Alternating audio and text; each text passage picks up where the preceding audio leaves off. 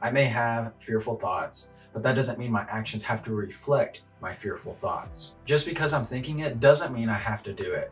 I don't remember where I heard the quote, but they said that in order for you to be brave, you have to be afraid. And so for the only way for you to be truly brave is for you to do it even if you are afraid. You may have thoughts of anxiety, but be brave enough to act in a way that isn't fearful.